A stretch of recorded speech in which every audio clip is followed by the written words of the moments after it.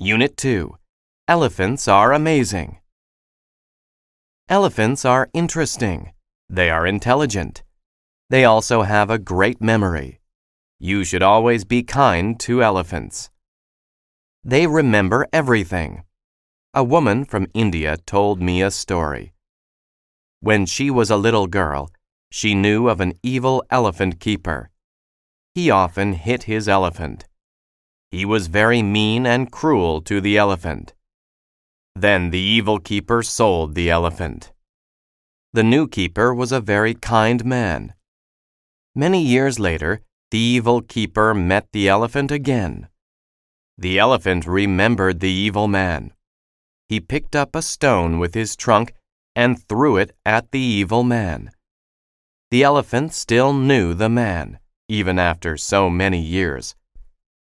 Elephants help each other too. Elephants use a special sound.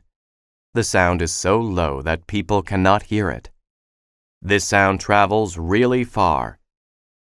Groups of elephants can communicate with each other, even if they are far apart.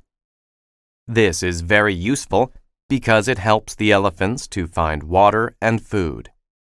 The elephants cooperate to help each other.